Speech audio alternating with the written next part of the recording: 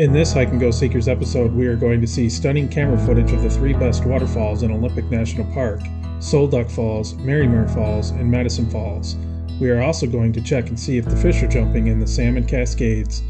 You will also learn just how quick and easy it is to visit these four iconic waterfalls in under half a day. Beat the crowds, people. Beat the crowds.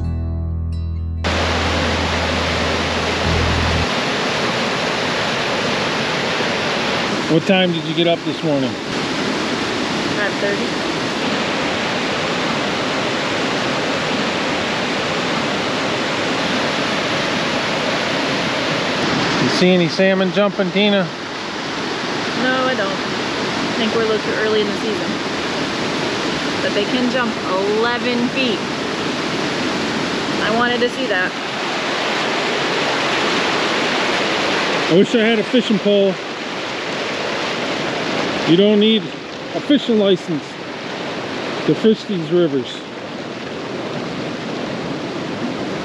You just can't fish this one little area because it's a touristy area, but uh, you can walk up the river and fish. Still waking up a little bit. Coffee's still kicking in. I'm freezing. Got a sweatshirt on. Probably about 50 degrees. But there's a breeze coming off the river, which makes it a little more chilly. Well, I was hoping to see a salmon today, but doesn't look like we're gonna see any. Sol Duc Falls.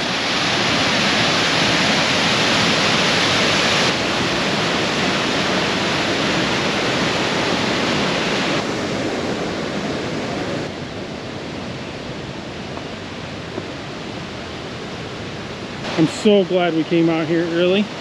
You know, getting up at 5 o'clock is not my thing. Never has been. But enjoying this with the peace and serenity of just Tina and I allows us to appreciate it even more. We've seen like three people on the trail. What do you think, Tina? Is it beautiful? It is. You can even feel the mist.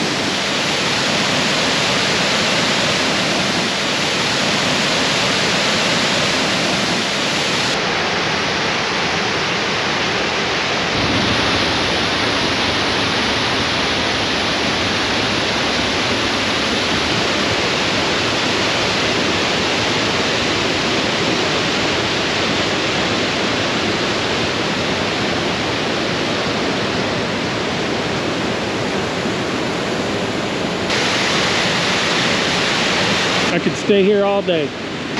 In about two hours, this bridge and that area over there will be filled with people. You want to go kayaking down the river? Wow, it has waterfalls. Okay, so we just finished Sol Duc Falls and the Sol Duc area. It was a 1.6 mile out and back trail. Definitely would make it here early in the morning or else you're gonna end up waiting in a line at the fee station.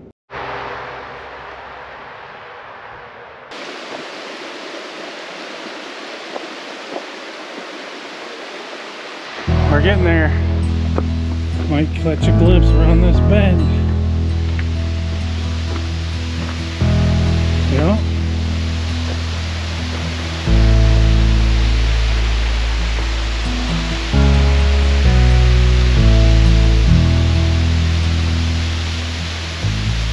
Pretty tall.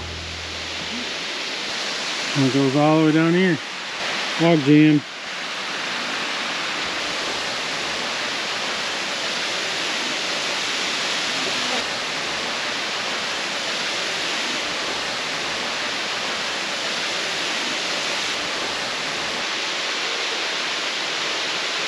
Okay, Tina, what'd you think of Marymere Falls?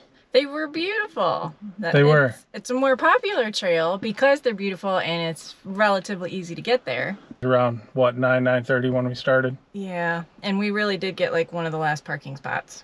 Yes, we did. So I'm really kind of at the end of the parking lot. So yeah, get here early.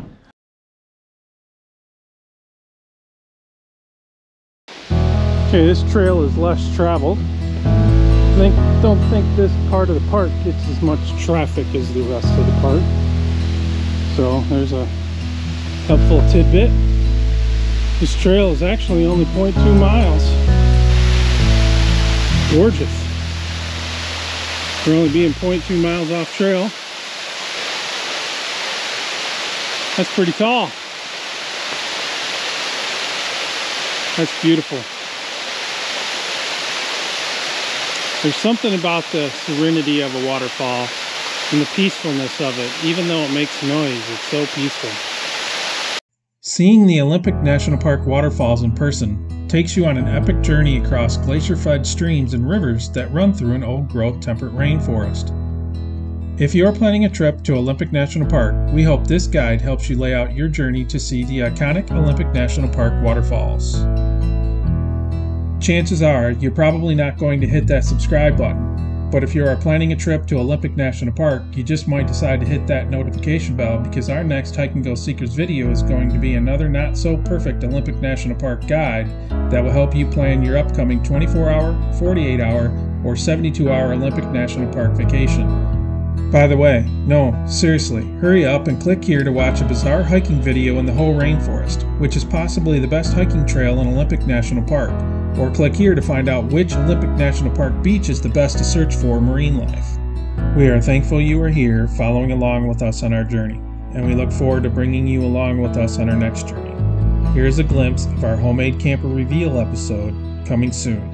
Until then, thank you for watching.